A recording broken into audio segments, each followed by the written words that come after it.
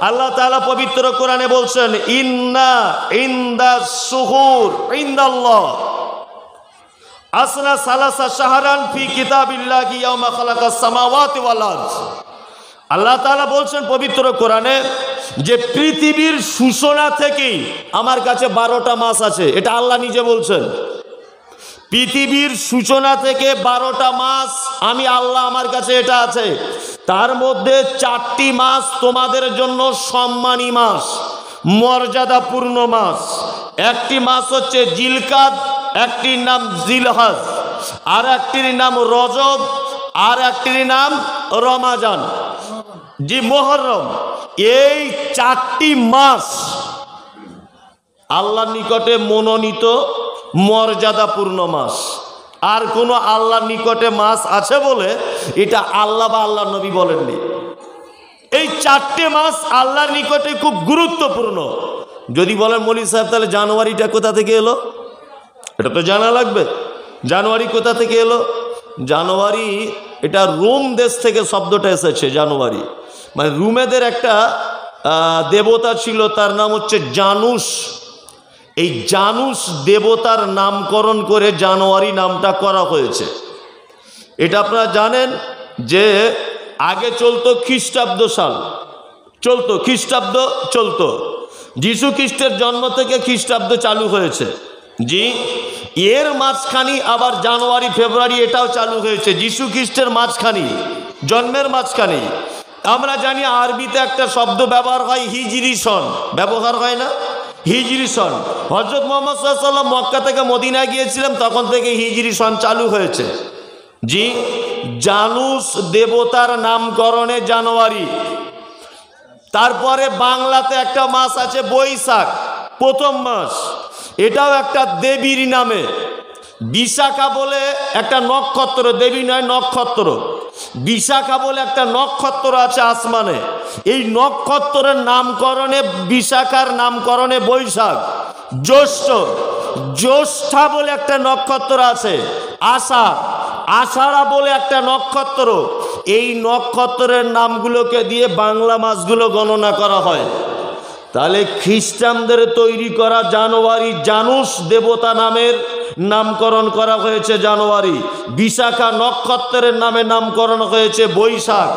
জি এই রকম হিন্দু, খ্রিস্টান, ইহুদি, নাসারাদের তৈরি করা এই দিনগুলি মুসলমান উদযাপন করে। করছে কি করছে না? করছে কি করছে না? করছে। অথচ এটা একেবারেই হারাম বা নিষিদ্ধ। এই মুহূর্তে আপনার উপরে একটা দায়িত্ব হচ্ছে এই যে আপনাকে আজকে বাড়ি গিয়ে আপনার বেটাকে বলে দিতে হবে যে, কালকে সারাদিন তুমি বাড়ি থেকে বার হতে পারবে না, এটাই চূড়ান্ত। আপনি যদি ভাবতাল যদি বুঝতে পারেন, এটা বলা লাগবে? এ বলা যাবে এটা? তোমার বেটাকে বলা লাগবে কালকে এটা? যে বাড়ি থেকে বার হওয়া যাবে না। এটা ইসলাম সমর্থন করে না। কোনো উৎসব, কোনো উদ্দীপনা, ঢোল তাবলা, অপচয় খরচা, অযথা কথাবার্তারা, এগুলো ইসলাম সাপোর্ট করে না। ওই জন্য আপনার কাছে বিনীত অনুরোধ আপনি অন্তত পক্ষে কিছু করতে পারেন না পারেন, এটা আপনার উপরে আল্লাহ দায়িত্ব দিয়েছেন আল্লাহ নবী পর্যন্ত বলেছেন যে প্রত্যেক বাড়ির গার্জেনকে কিয়ামতের দিবসে তার বাড়ির সদস্যদের ব্যাপারে হিসাব নেওয়া হবে। তা আপনার বেটা যদি আজকে পাপ করে, তাহলে কিয়ামতের মাঠে আপনার ব্যাপার ব্যাপার জিজ্ঞাসা করা হবে।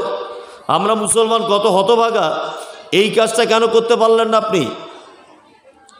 যে একটা বছর আমার চলে গেল, কোনো ভালো কাজ করতে পারলাম না। জীবনে আমার সব খারাপ কাজ। জি, এটা আমরা চিন্তা ভাবনা করেছি, কেউ করতে পারেনি।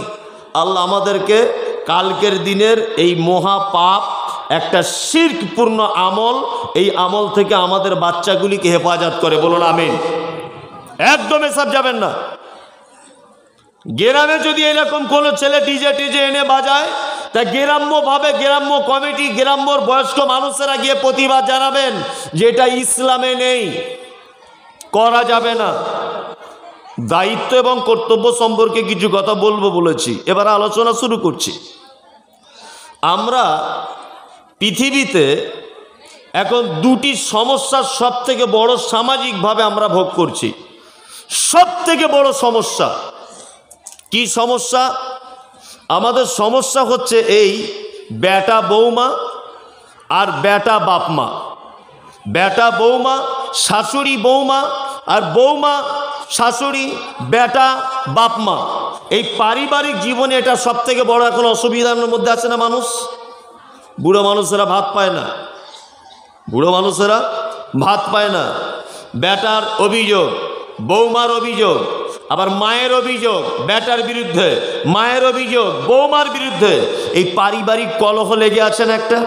সব সময়ের জন্য লেগে আছে। এখন আমরা প্রথম দিক থেকে যদি শুরু করি, অনেক মানুষ আছে, বুড়ো বয়সে ইমাম সাহেবকে এসে বলছে। মনি সাহেব, একটু বাপ মায়ের ব্যাপারে, সেবা যত্নের ব্যাপারে কিছু হাদিস করেন, আজকে জুম্মাতে বললে হয় না? বলছি, কেন? বলছে, কোনো বেটা খেতে দেয় না মলি সাহেব। বড় বেটা তো ওর ধারে পাশেই যেতে দেয় না। ছোট বৌমা তো টেঁড়া টেঁড়া করে চায়। মেজ বৌমা কোনো মতেই আলাপ করে না। বলছে, এর বাড়ি পনেরো দিন, ওর বাড়ি পনেরো দিন। ষোলো দিন হয়ে গেলে আর মুখের দিকে তাকানো যায় না, মারতে চলে আসে। বেটা বেটার বহু এটা বলে কি বলে না? বলছে কি বলছে না? আচ্ছা বলুন তো এইসব রোগগুলোর সমস্যা কোন জায়গায়? কোন জায়গায় সমস্যা? এই রোগগুলোর সমস্যা কি? আপনার বৌমা যে আপনাকে খেতে দিচ্ছে না বা দেখছে না, এই সমস্যাটা কি? এর একটা সমস্যা মারাত্মকভাবে হয়ে গেছে আমাদের আগে, যেগুলো আমাদের অগোচরে হয়ে গেছে। আপনি কোনোদিন মূল্যায়ন করতে পারেননি। এক, প্রথম একটা হাদিস আপনাকে শোনাই। হজরত ওমার ফারুক রাজি আল্লাহ তালা আনহু নাম শুনেছেন? হজরত ওমার, কত বড় মাপের লোক। হজরত ওমারের কাজ ছিল এসার নামাজের পরে বাড়িতে বিবির সঙ্গে দেখার পরে, ফজরের নামাজের পরে বাড়িতে বিবির সঙ্গে দেখা করার পরে বাড়িতে বাড়িতে তিনি ঘুরে ঘুরে বেড়াতেন জঙ্গলে জঙ্গলে, পাহাড়িয়া দেশে পাহাড়িয়া রাস্তা দিয়ে। একেবারে পল্লী জায়গাতে হজরত ওমারে ফারুক রাজি আল্লাহ আনহু চিনি যেন গভীর রাত্রিতে ঘুরে ঘুরে বেড়াতেন। এই কারণে বেড়াতেন। কোনো মানুষের অসুবিধা আছে কি না কোনো মানুষের কোনো দুঃখের মধ্যে আছে কি না কোনো মানুষের শরীর খারাপ আছে কি না কোনো মানুষের অভাব আবেছি কি না তো হজরত ওমার বলছেন, আমি একদা ঘুরতে ঘুরতে একজনাদের বাড়ির পাশে দাঁড়িয়ে গেলাম। একজনাদের বাড়ির পাশে দাঁড়ালাম। দাঁড়িয়ে ভিতর থেকে আওয়াজ আসছে, একটা মেয়ে তার মাকে বলছে, মা মা, দুধে একটু পানি মিশিয়ে দাও না, তাহলে পাঁচ লিটার দুধ, ছ লিটার হয়ে যাবে। হ্যাঁ মা তার বেটিকে বলছে, বেটি, দুধে একটু পানি মিশিয়ে দাও না, তাহলে দুধটা পাঁচ লিটারের জায়গায় ছ লিটার হয়ে যাবে। তা বেটি তখন বলছে, আপনি বলেন কি কথা? দুধে পানি দেওয়া যাবে না। দুধে পানি দেওয়া যাবে না। আমিরুল মমিনিন যদি দেখতে পেয়ে যায়, তাহলে কিন্তু কঠিন সাজা হবে। আর শুধু আমিরুল মমিনিন নয়, পৃথিবীর কেউ দেখতে না পেলেও এটা আল্লাহ দেখতে পাচ্ছে। এটা আল্লাহ দেখতে পাচ্ছে। মা, খবরদার, দুধে পানি মিশিয়ে দিও না। হজরত তোমার এই কথাটা শুনে আশ্চর্য হয়ে গেলেন। যে গভীর রাত্রিতে কেউ নেই, মা, বেটি দুজনা আর এর মেয়েটার ইমান এত মজবুত। বলছে, মা, দুধে পানি দিও না, আল্লাহ দেখতে পেয়ে যাবে। সঙ্গে সঙ্গে বাড়িতে চলে এলেন। এসে বেটাগুলোকে ডেকে বলছে অমুক জায়গায় তো একটা মেয়ে দেখে এসেছি। এই মেয়েটার সঙ্গে তোমাদের কাউকে একজনের বিয়ে দেওয়া লাগবে, বিয়ে করা লাগবে। হজরত তোমার প্রস্তাব জানালেন, বিয়ে হয়ে গেল মেয়েটার সঙ্গে, নিজের বেটা আবদুল্লাহ। কে? আবদুল্লাহর বিবাহ দিলেন। আচ্ছা বলুন তো হজরত তোমার কি মেয়েটা কত সুন্দরী এটা দেখেছিলেন? দেখেছিলেন? দেখেননি? মেয়েটার বাপের কত টাকা আছে দেখেছে? দেখেনি? কি দেখেছে হজরত তোমার হজরত তোমার শুধু দেখেছে যে মেয়েটার ইমান কতটা আছে, আল্লাহর প্রতি ভয় কতটা। তা আপনার বৌমা যে আপনাকে খেতে দিচ্ছে না, বৌমা তার দায়িত্ব পালন করছে না শ্বশুর হিসাবে তার একটা মূল কারণ হচ্ছে আপনি বেটার বহু যখন দেখতে গিয়েছিলেন, আল্লাহ নবী বলেছেন, একটা মহিলাকে চারটে গুণ দেখে বিবাহ করো। সর্বপ্রথম তুমি যেটাকে প্রাধান্য দিয়েছ, বাপের রাস্তার ধারে জমি আছে কিনা চার শতক? হ্যাঁ? ওর বাপের রাস্তার ধারে জমি আছে কিনা? হ্যাঁ এটা প্রথম দেখেছেন তো আপনি? মেয়েটা কত সুন্দরী এটা দেখেছেন। আর ওর নামে কিছু ব্যাংক ব্যালেন্স আছে কিনা? জীবনে কোনো দিন গিয়ে জিজ্ঞেস করেছেন, মা, তুমি নামাজ পড়ো? তোমার আব্বু নামাজ পড়ে? তোমাদের বাড়িতে প্রত্যেক ঘরে টিভি দেখছি কেন? আচ্ছা তোমার আব্বা কি কাজ করে? কি কাজ করে? তোমার আব্বা লটারি ব্যবসা করে না তো? তোমার আব্বা সুদে টাকা খাটায় না তো? হ্যাঁ?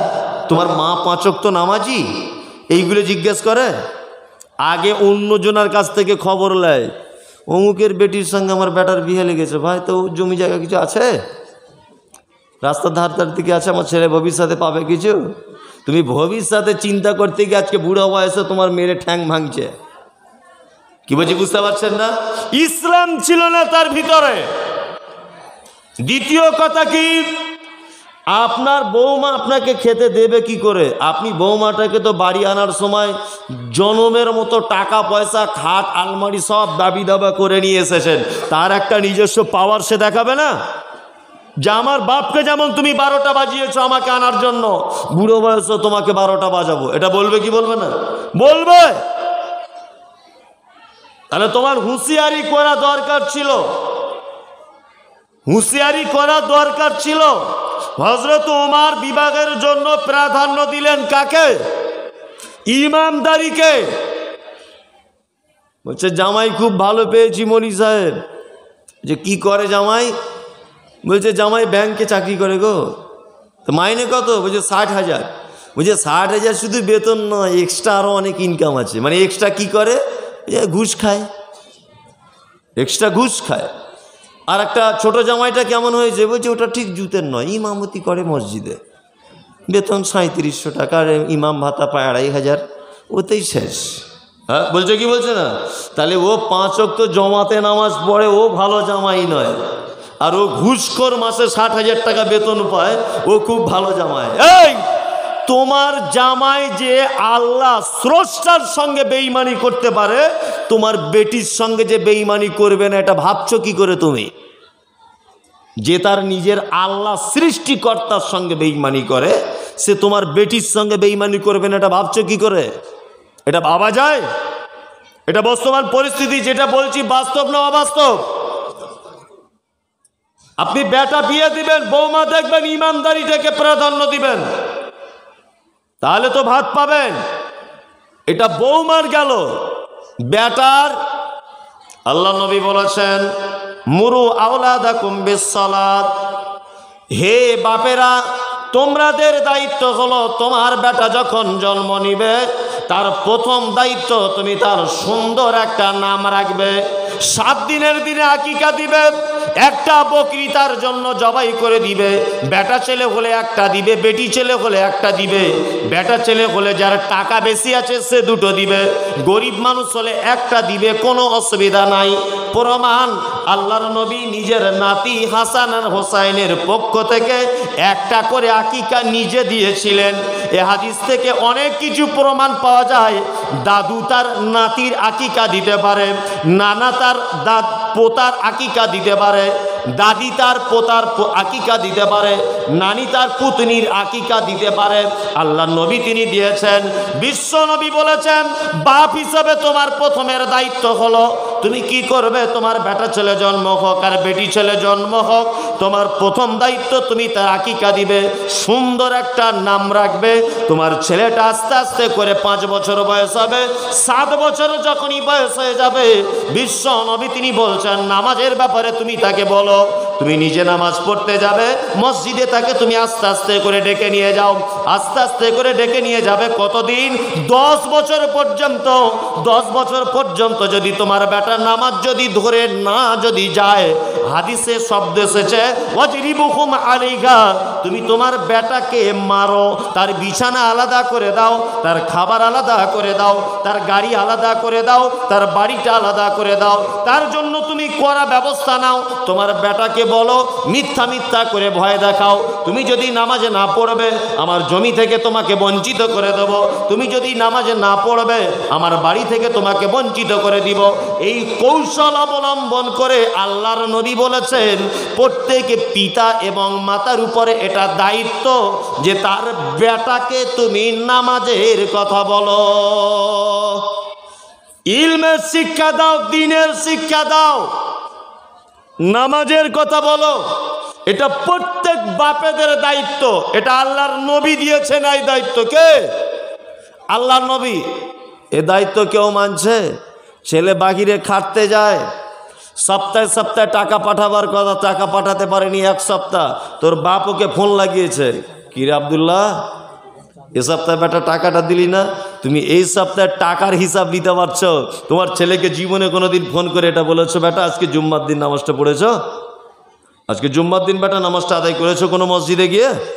ফেরি করছ, ব্যবসা করছ সব কিছু ঠিক করছ, চাকরি করছ, সব করছ। বেটা নামাজটা আদায় করেছ? এ, এটা কেউ বলে?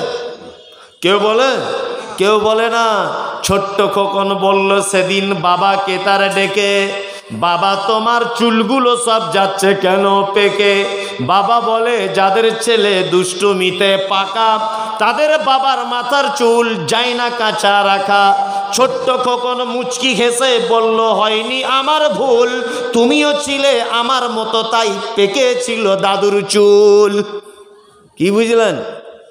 একটা ছেলে তার বাপকে, তার বাপ ছেলেকে বলছে, বেটা, তোর জ্বালাতে মাথার চুল পেকে গেল, দেখ। তোর জ্বালা সহ্য করতে করতে।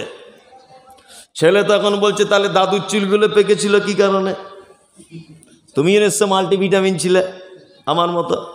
এই, অনেক লোক আছে। বলছি, মলি সাহেব বেটাদেরকে বলে বলে হয় না, নামাজ আর পড়াতে পারছি না। আপনি কত বছর বয়সে নামাজ পড়া ধরেছেন? এই, কত বছর? চল্লিশ বছরে। আপনি নিজে তো সাবালক হয়েছেন চল্লিশ বছরে। তা আপনার ব্যাটার এখন বয়স আঠেরো বছরও নামাজ পড়বে? ওর ব্যাটা যদি এখন ঘুরিয়ে বলে যে আমার মতো বয়সে তোমার তো সব লাল কালির দাগ। বলবে কি বলবে না? তা আপনার আমার বলারও মুখ আছে? বলারও মুখ আছে? নাই! বলারও মুখ নাই! বলবেন কি করে? আপনি নিজেই তো চল্লিশ বছর বয়সে আপনি নামাজ পড়া ধরেছেন। এটা বাপেদের দায়িত্ব। আজকে বুড়া বয়সে অভিযোগ করলে হবে না। আপনি একটা মৌলী সাহেবদের বেটা দেখান তো দেখি বাপগুলোকে। যে ভাত পাচ্ছে না, একজন দেখান এই এলাকাতে। আছে? যে মৌলভী সাহেব তার মাকে মেরেছে, আর মৌলভী সাহেব তার মাকে খেতে দেয় না, মৌলভী সাহেব তার বাঘকে ঘর থেকে ধাক্কা দিয়ে বার করে দিচ্ছে, দেখাতে পারবেন? পারবেন না। বেতন কত? চার হাজার, পাঁচ হাজার, ছ হাজার, সাত হাজার অথচ অসংখ্য বাপ মাকে দেখতে পাওয়া যাবে। বৌমাও চাকরি করে, ছেলেও চাকরি করে। যে দুজনাই কলকাতায় থাকে, বুড়া বুড়ি দুজনা মরে মরে। একদিন শাড়িতে আগুন লেগে যাচ্ছে, একদিন হাত পুড়ে যাচ্ছে রান্না করতে গিয়ে, এ চোখে টেঁড়া দেখছে, আর ও বসতে গিয়ে লাঠি দিয়ে বসে, উঠতে গেলে লাঠি নিয়ে ওঠে এই রকম অবস্থা, সেবা করার কেউ নেই। এরকম অসংখ্য বাপ মা আছে আছে না নেই? আছে? অসংখ্য বাপ মা রয়েছে। তার একটা কারণ, সেটা হচ্ছে কি? একটা কথা আছে, যাকে করবে অবহেলা, সেই হবে গলার মালা। যাকে করবে অবহেলা, সেই হবে গলার মালা। দিনাজপুরের আমার একটা বন্ধু আছে, দুমোহনার ওখানে বাড়ি। আমি তার নাম বলব না। ওরা সাত ভাই। সাত ভাই ওরা। তা মসজিদে ছেলেটা ইমামতি করে। বেতন কম পায়, অল্প পায়। তা ওর বোনেরা ওর সঙ্গে ভালো করে কথা বলে না যখন আসে। আরও দুটো, তিনটা ভাই বড় বড় চাকরি বিজনেস করে, তাদের গাড়ি বাড়ি সব আছে। বোনেরা কেউ কথা বলে না। কারণ ওর বেতন কম খেতে টেতে ভালো দিতে পারে না এই কারণে। আজকে ওর বাপ মাগুলো আর ছটা ভাই কেউ দেখে না। আমি ফোন করে যদি কখনো গল্প টল্প করি, তো আমাকে দুঃখের কথা বলে যে, মমতাজ ভাই, যাকে করবে অবহেলা, সেই হবে গলার মালা। আমার ইনকাম কম বলে আমার আব্বা মামায় দেখতে পারতো না। আজকে বুড়ো বুড়ি দুজনে আমাকে ছাড়া চলে না। আমি যে তাদেরকে ঠেলে দিতে পারছি না। কি বলছি, বুঝতে পারছেন না? তাহলে আপনার দায়িত্ব হলো প্রথমে আপনার ছেলেকে সলাতের জন্য বলা সাথে সাথে দিনের জ্ঞান দেওয়া। ওই জন্য আমি সব জায়গাতেই বলি আপনার ছেলেকে ইংলিশ মিডিয়ামে পড়ান আমাদের কোনো আপত্তি নেই। কোনো আপত্তি নেই। তবে আপনার ছেলের চরিত্র যেন ইংরেজদের মতো না হয়ে যায়। সাথে সাথে একটু মাদ্রাসায় দেবেন মক্তবে দেবেন মাঝে সাঝে। বাপ মায়ের সেবার ব্যাপারে কিছু শিখতে পারবে। কি বলছি বুঝতে পারছেন না? কি? কিছু অন্তত জানতে পারবে। অবশ্যই মাদ্রাসায় পাঠাবেন। মাদ্রাসায় যদি পাঠাতে নাও পারেন, তাহলে দুটো চারটে বাংলা বই কিনে আপনার বৌমাকে দেবেন যে, মা, তুমি এটা পড়ো। অনেকটা তবু আপনি সেফ সাইড হতে পারবেন। তার আগে বাঁচার কোনো রাস্তা নেই। তাহলে বাপেদের দায়িত্ব কি হলো? আজকে থেকে কালকে সকালবেলা এই পাপ কাজ থেকে আটকাতে হবে বলে দিয়ে গেলাম। দুই, কাল সকালবেলা থেকে আপনার ছেলেকে মসজিদে নিয়ে যাওয়া লাগবে। কি বলছি বুঝতে পারছেন না? ছয় বছর, সাত বছর বয়স নিয়ে যাবেন। আবার অনেক মসজিদে কিছু বদমায়েশ মুসল্লি আছে। মসজিদে বাচ্চা কাচ্চা নিয়ে গেলে বিরক্ত হয়। এই, ওরা ডিস্টার্ব করে ওদেরকে, কেন আনো বাড়ি থেকে? তোমাদের কি কাজে নেই? বলে না? অনেক বলে। অনেকজনা বলে। এই, প্রত্যেক গাছের ফলের একটা সিস্টেম আছে, দেখেছেন? একটা কাঁঠাল পাকে, তার পাশের মুঠাতে আর একটা কাঁঠাল ধরে। কি বলছি বুঝতে পারছেন না? গাছে একটা কুল ধরে যায় আর একটা ফুল ফোটে। বেগুন গাছে একটা বেগুন হয়ে যায় তো পাশে আর একটা ফুল ফোটে। এখন আপনি যদি ওই ফুলটাকে ভেঙে দেন, তাহলে পরবর্তীতে আর বেগুনের আশা করতে পারবেন? পারবেন? পারবেন না। তা আপনি আপনার বেটাকে মসজিদে এই কারণে নিয়ে যাবেন। আপনার তো বেগুন ছেঁড়ার মতো টাইম হয়ে গেছে, সব তো মাল পেকে গেছে। যাবার টাইম হয়ে গেছে। অন্তত পক্ষে আপনি কলা গাছের মতো চরিত্রটা করুন। যে কলা হয়ে যাবার পরে ও নিজে ভাবে, আমাকে তো কেটে দিবে, পাশে আর একটা গাছ তুলে দিয়ে যায় কি বলছে বুঝতে পারছেন না? তা আপনি তো নামাজ পড়বেন পড়বেন। বেটাটাকে অন্তত পক্ষে অভ্যাসটা করান। মসজিদে নিয়ে যান। ইনশাল্লাহ এই দায়িত্ব পালন করব। এ বলুন, ইনশাল্লাহ। বেটার শুধু কামাই খাবার। হ্যাঁ